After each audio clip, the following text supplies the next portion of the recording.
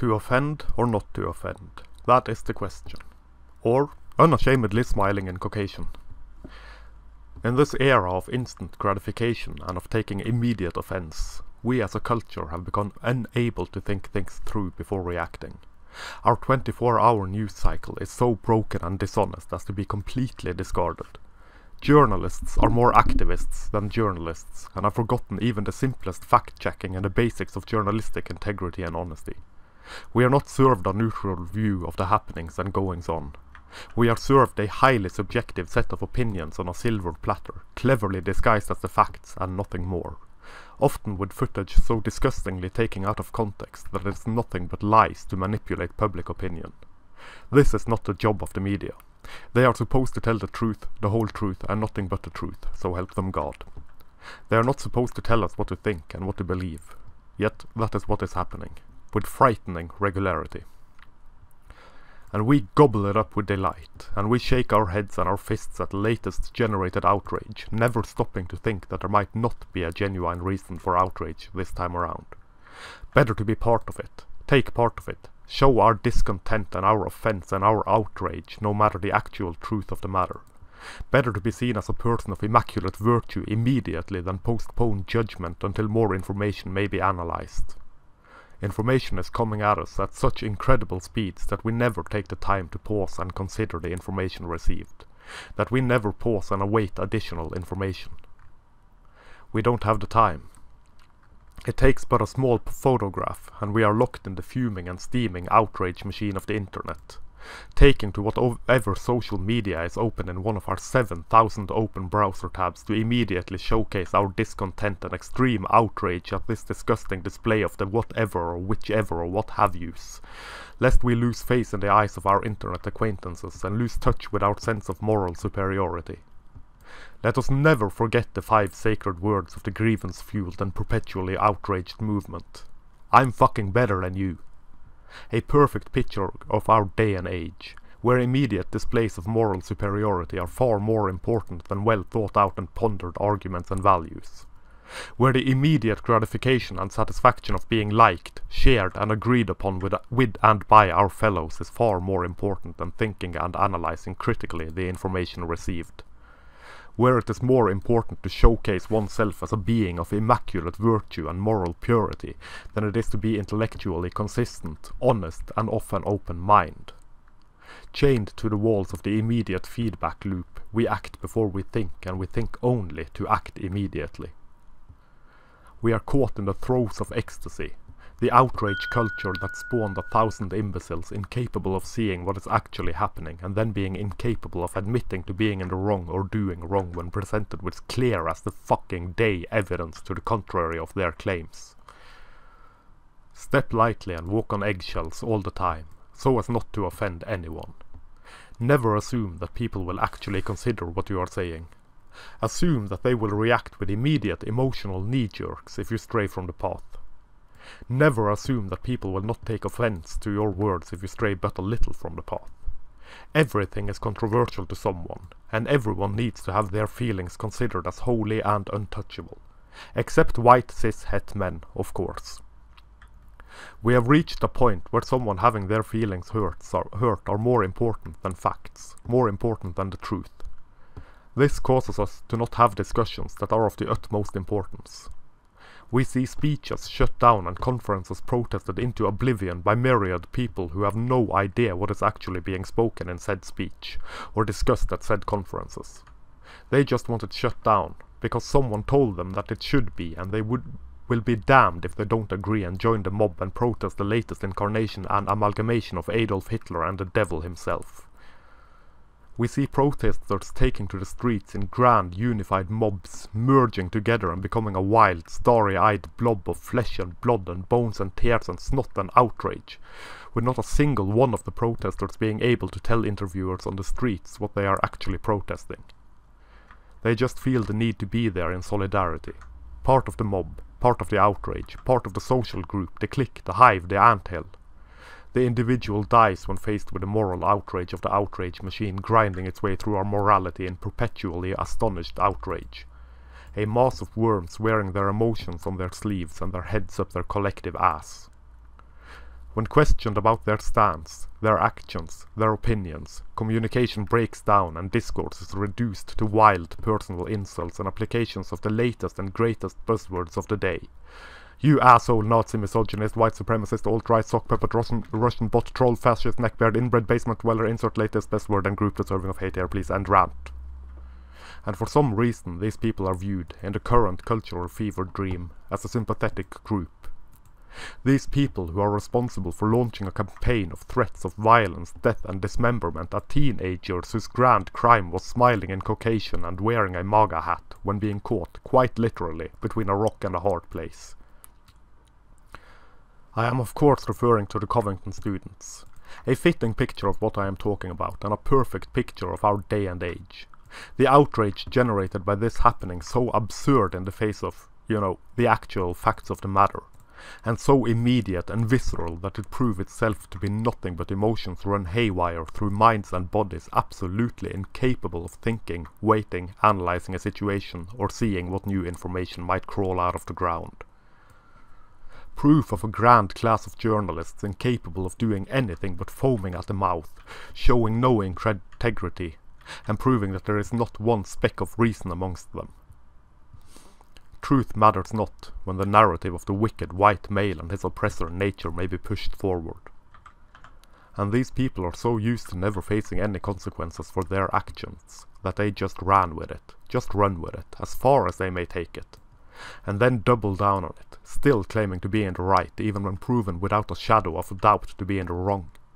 An inability to admit to being in the wrong brought on by the grand sense of moral superiority, the glory of the dopamine burst, the selfish and egotistical solipsist me, me, me and only me social movement parading as altruism, yet proving only selfishness, lack of insight and lack of self-awareness. It's not about me, I promise, honest, it's about the plight of whoever, Honest. Cross my heart and hope to die. Ah shit, is it offensive to say cross my heart? Ah shit, is it offensive to say shit? The Emperor has no clothes. It has been pointed out, time and again. And it does not matter, because the latest disease spawned at the hearts of our shared Western culture is a moral malaise that will not end.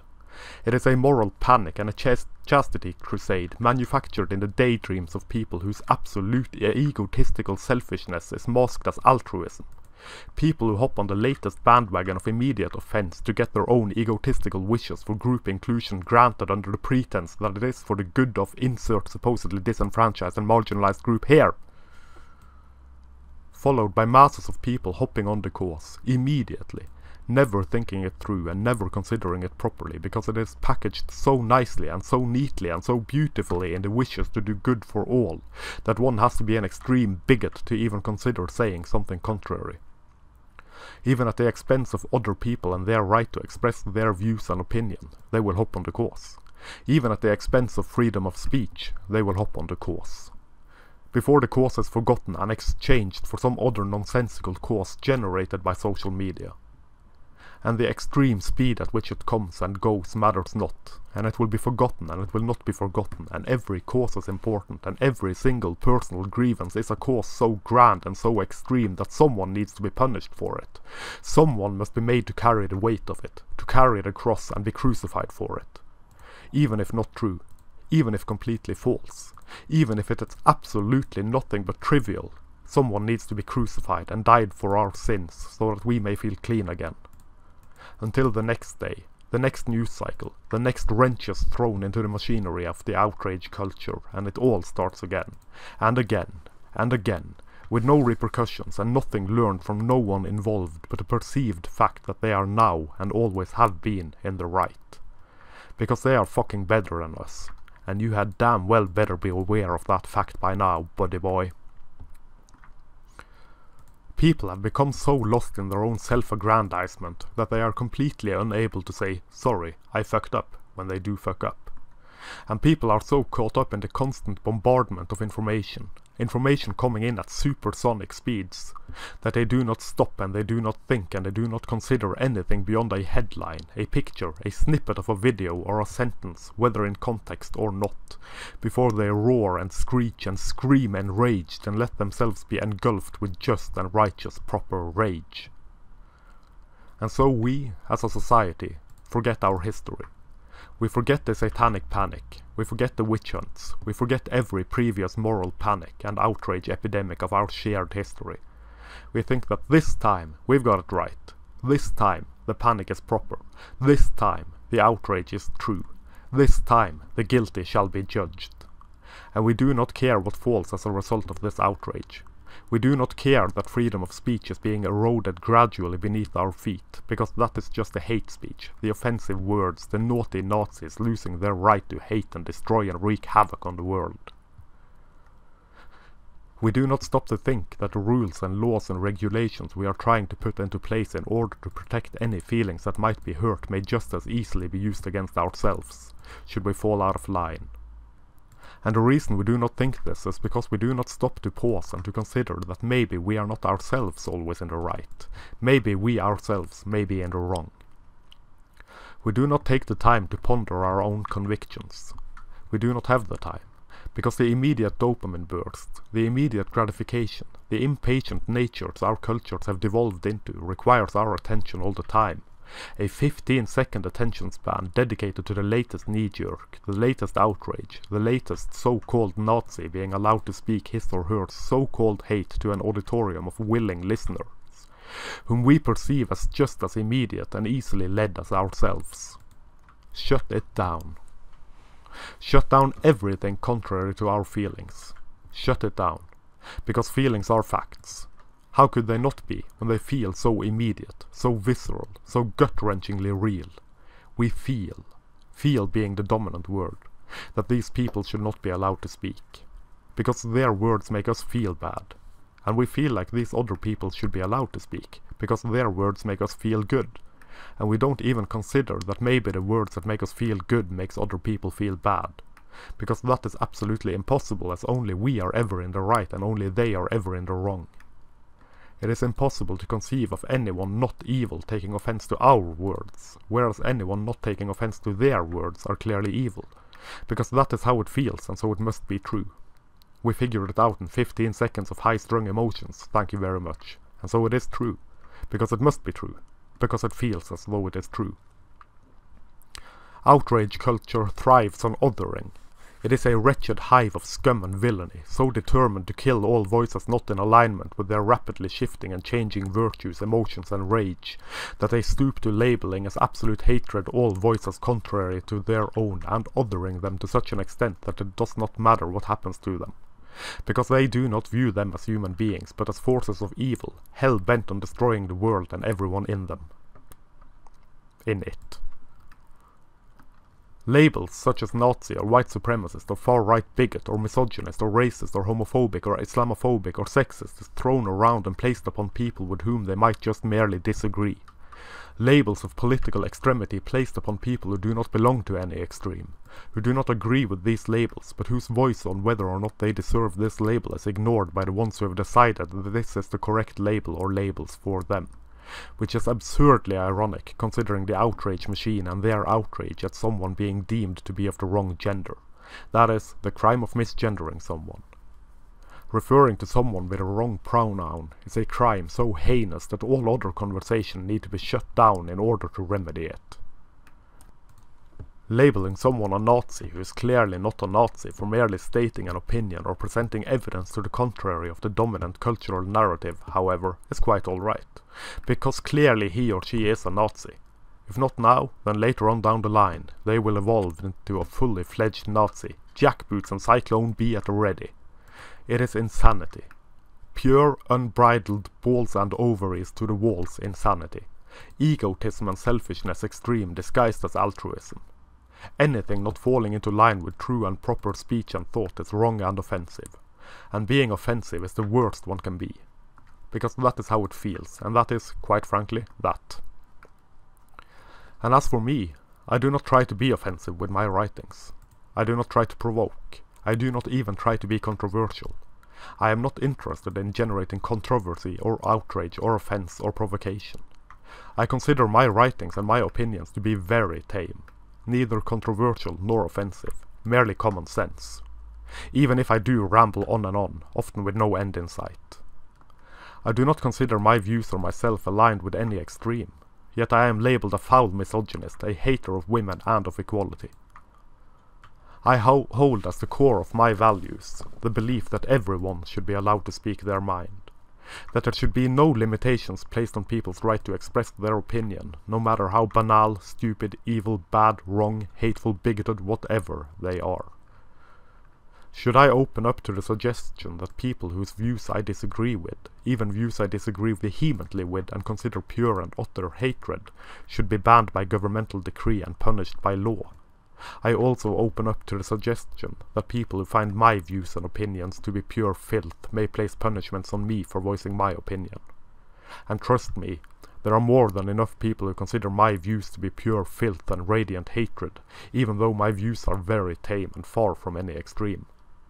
They are, quite simply, not able to see beyond their own bias in regards to feminism and the doctrine of feminism, to such an extent that they do not see what I have written or hear what I have said, blindfolded and limited by ideology. I do not wish my rights to express myself being infringed upon, and in having the right to express myself, I also have the right to offend. Because somewhere, someone will find something to be offended about, no matter what you say, write or express. In not wanting my right to express myself infringed upon, I cannot possibly wish that anyone else have their right to express themselves infringed upon. That would be holding double standards, instead of holding everyone to the same standard. I would not wish even the most radically misandrist feminist man-hater be denied her right to openly spew her hatred. Opening that door will quickly open another door. And before you know it, nothing is allowed speech expecting that people with whom one may disagree should not have the same rights to express themselves as oneself is far from egalitarian and far removed from all being treated equally. That, my friends, is supremacy. The notion that one set of ideas should be the only ones allowed to be expressed at the expense and governmentally sanctioned suppression of other ideas is not equality. It's not treating everyone equally.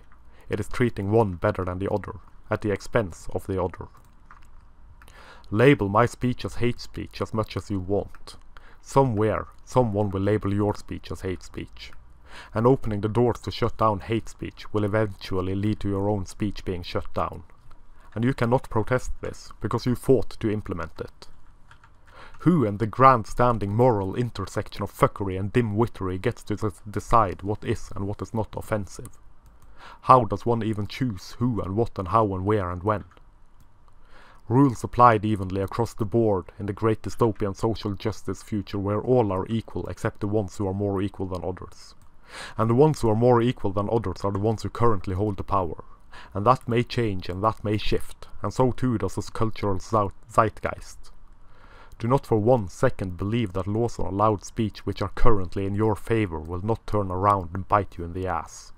Slip, slide, welcome to governed speech. Say this, do not say that.